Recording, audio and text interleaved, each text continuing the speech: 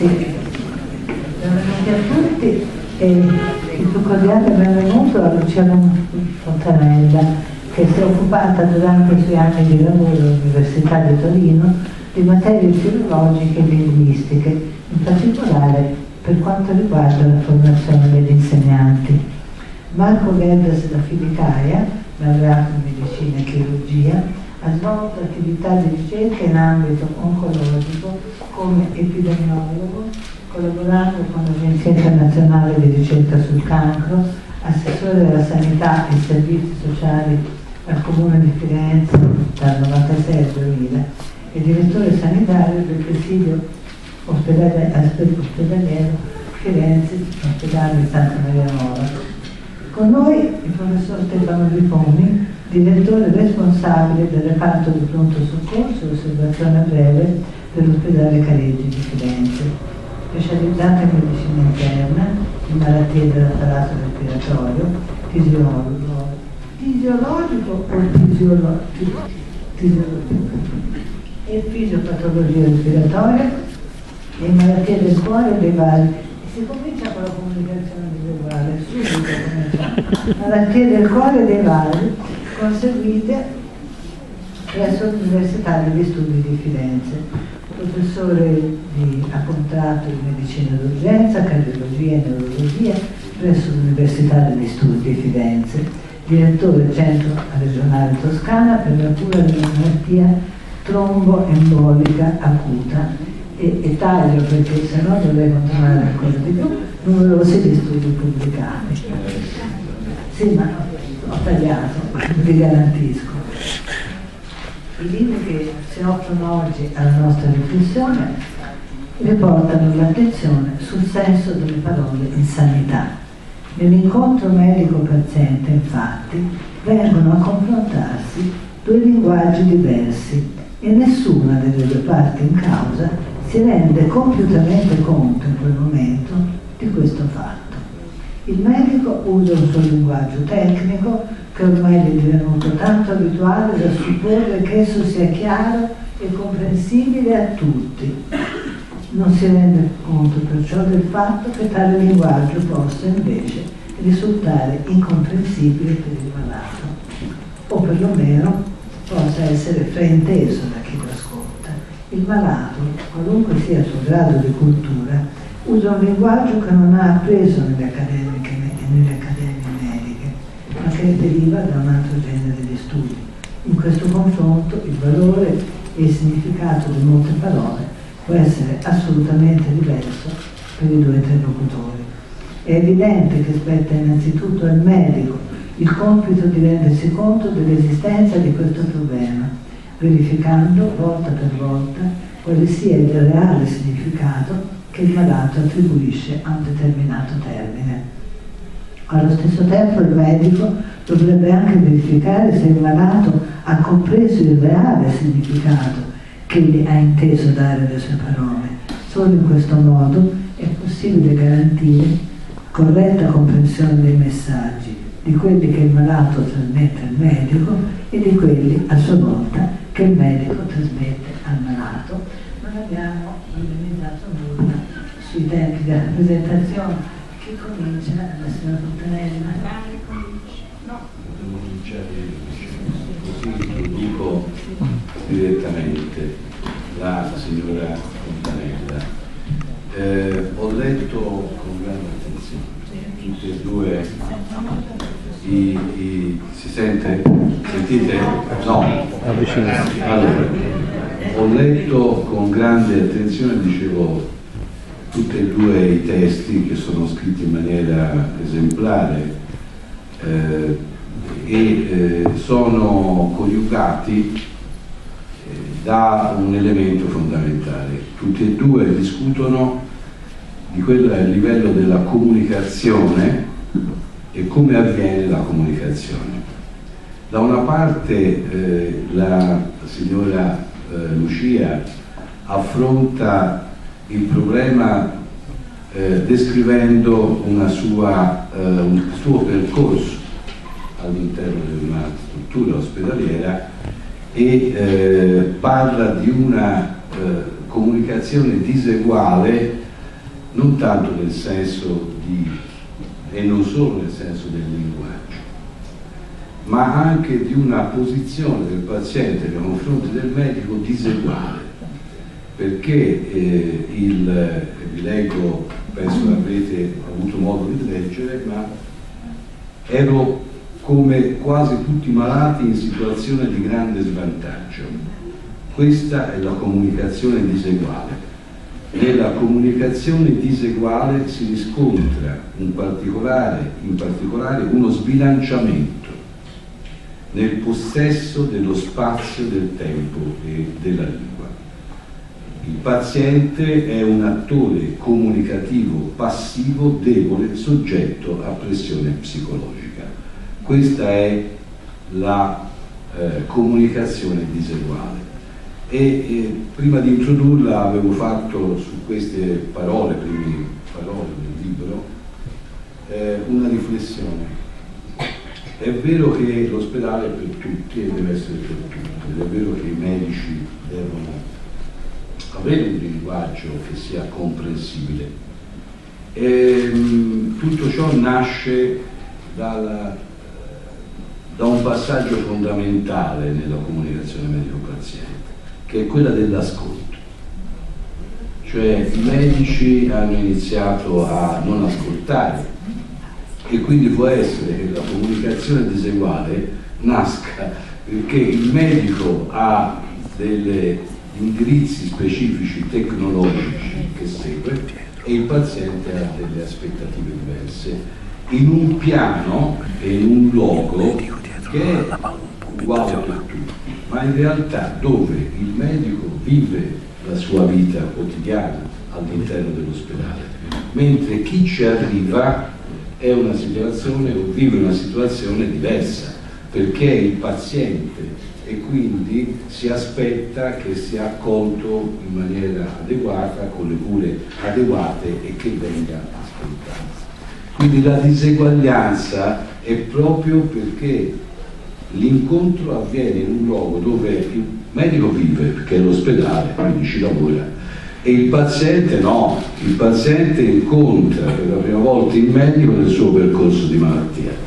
Ora vorrei ascoltare la signora Fontanella nel suo percorso, cercando anche di farci capire ancora di più la comunicazione diseguale.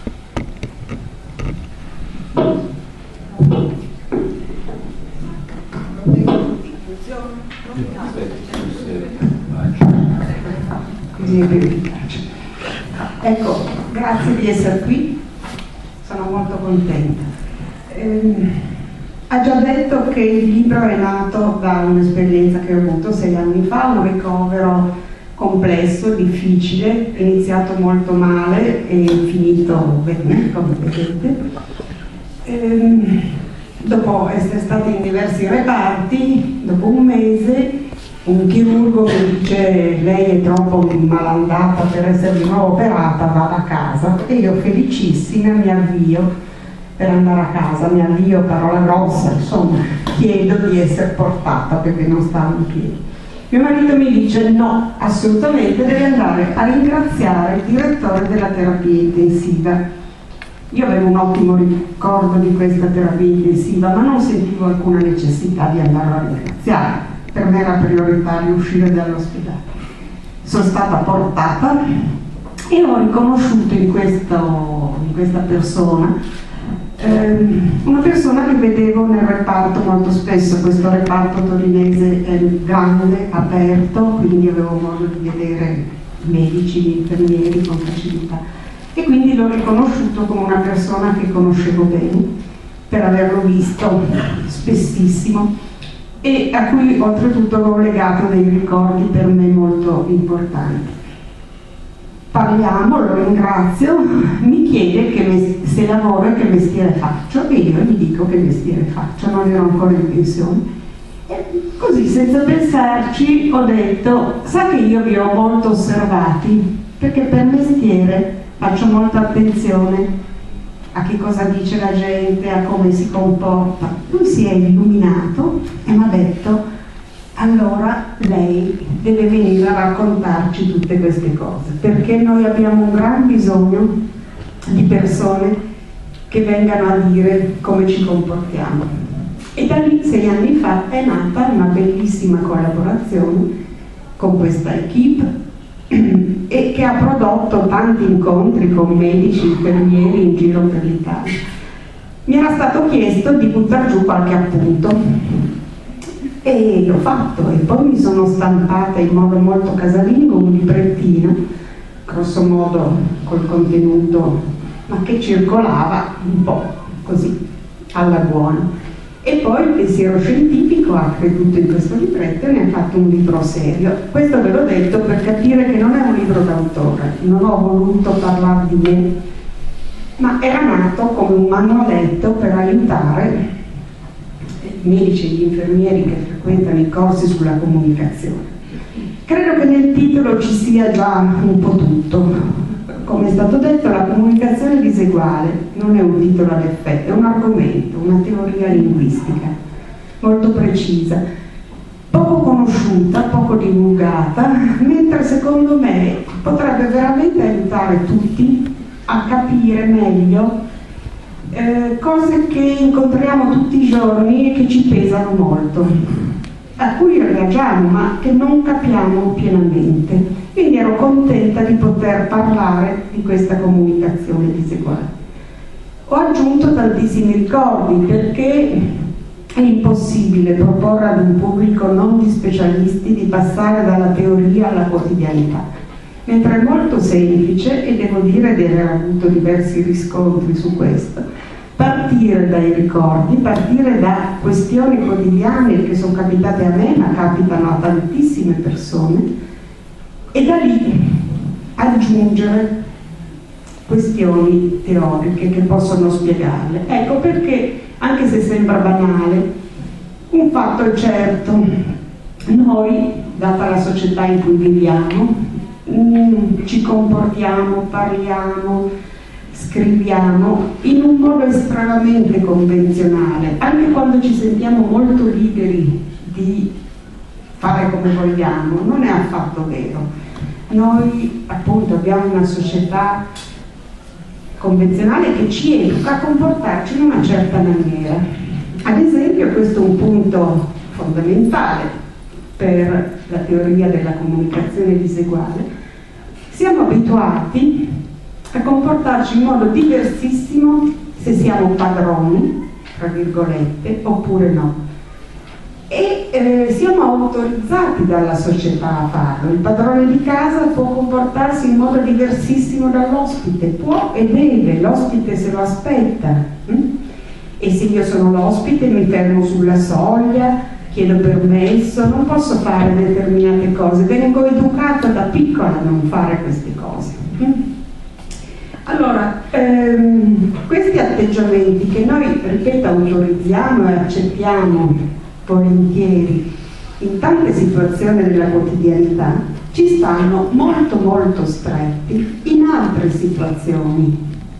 E cioè quando ci troviamo in un ambiente, è quello che citava, lui ha dato secondo me un'interpretazione un po' di parte che è la sua, io do la mia del paziente. Cioè quando ci troviamo in un luogo che è pubblico e deve essere pubblico come l'ospedale, che deve essere di tutti, se vi chiedessi di chi è l'ospedale pubblico credo che tutti mi rispondereste è di tutti, hm? seppure con ruoli diversi, responsabilità diverse, non ho mai pensato che un paziente debba sostituirsi al medico nella scelta delle cure, non dico questo, ma se è percepito come luogo di tutti, dovrebbe produrre in chi lo frequenta, quindi personale sanitario, pazienti, familiari, un tipo di atteggiamento che vi ripeto è consolidato e convenzionale, che non ha nessuna marcatura della proprietà. Lo dico in parole più semplici. Quando entro in un ospedale pubblico io non dovrei notare nessun atteggiamento, nulla che mi faccia pensare che lì qualcuno si sente padrone.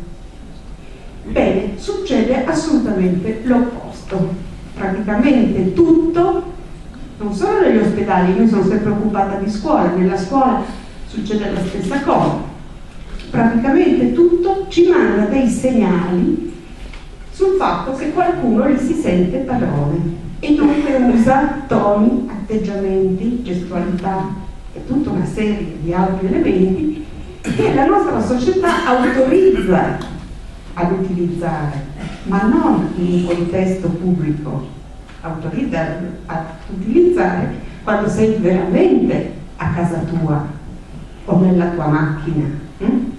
o in un luogo assolutamente tuo.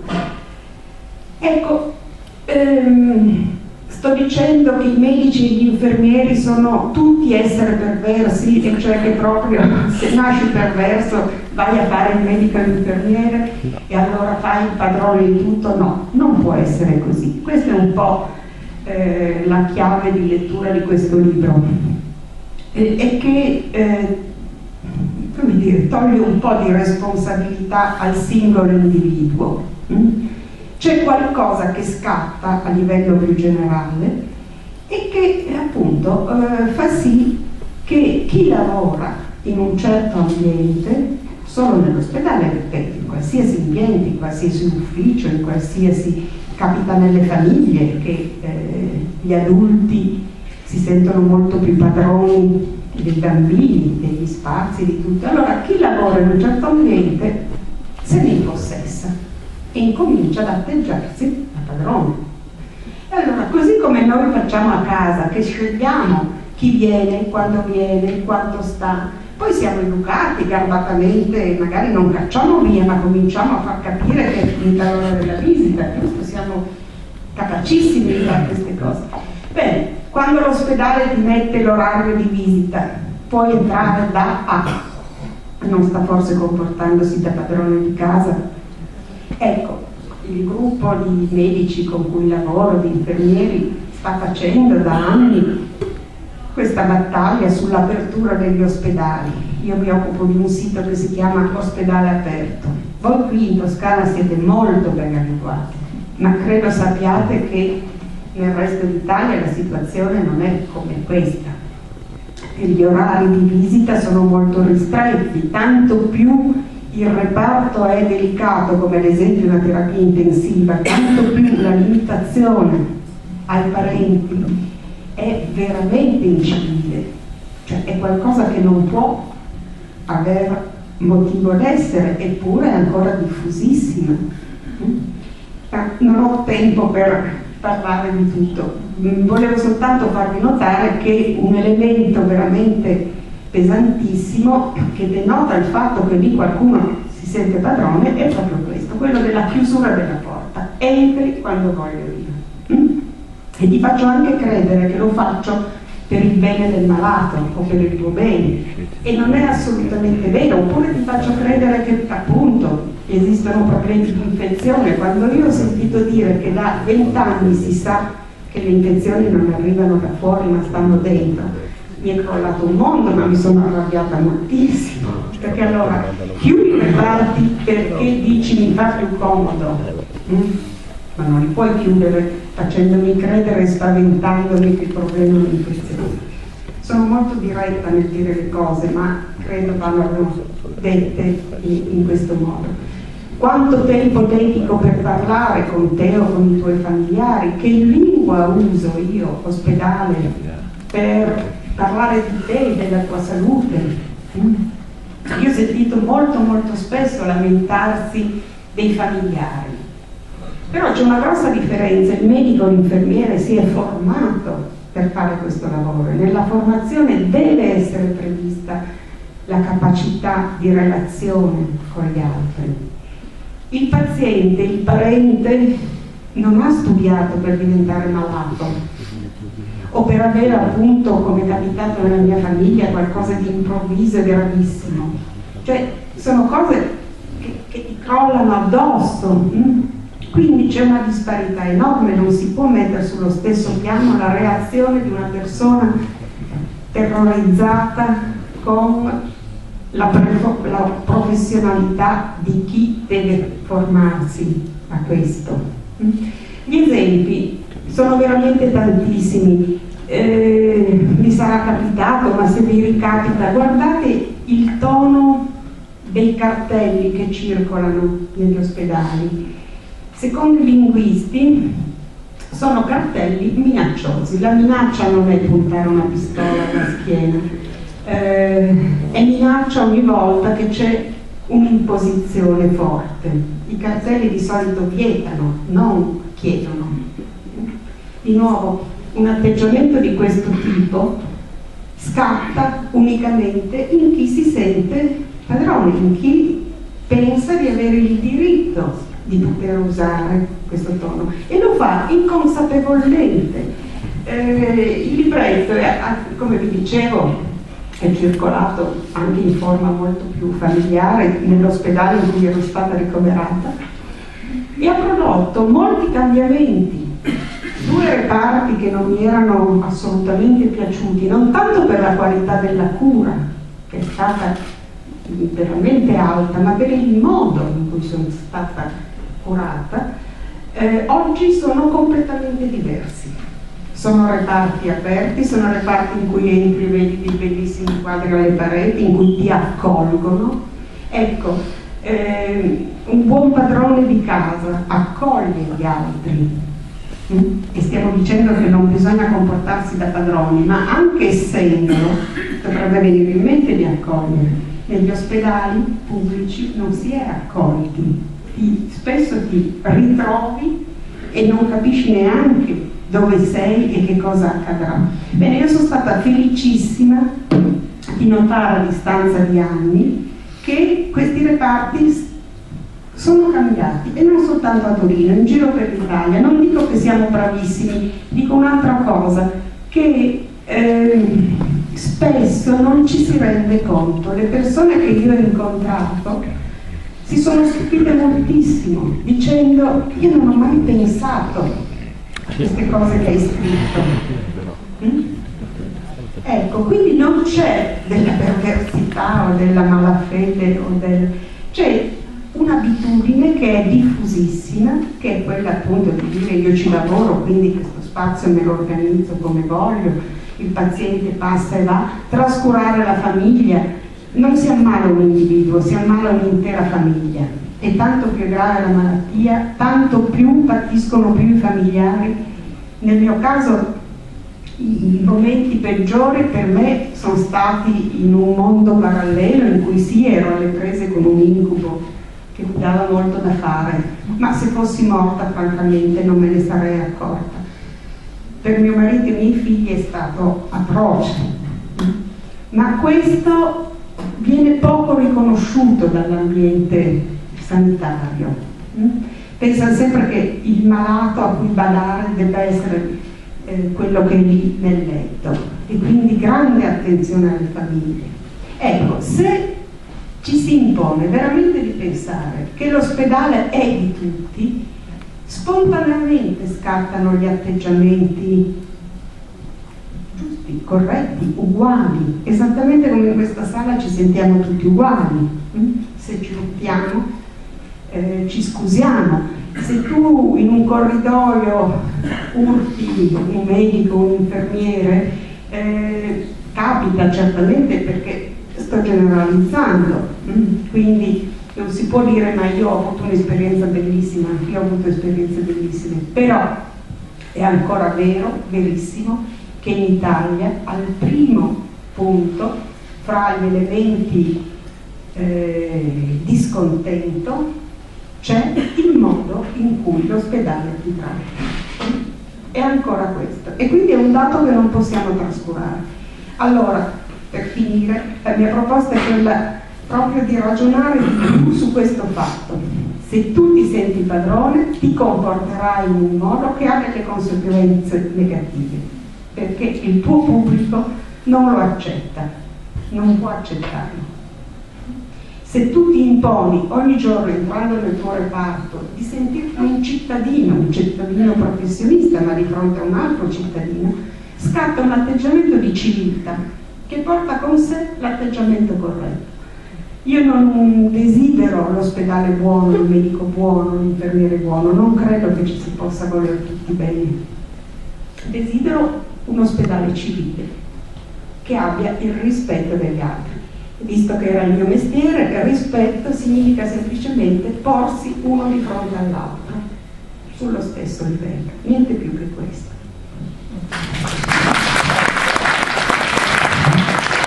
Volevo aggiungere del libro di Lucia Fontanella che mi è piaciuta moltissimo. Insomma, l'ospedale è di tutti, deve essere di tutti, un luogo pubblico in cui ciascuno ha un ruolo di reciproca utilità, nel pieno rispetto di tutti. Io malato non sono forse la vostra ragione di essere, caro dottore, caro infermiere?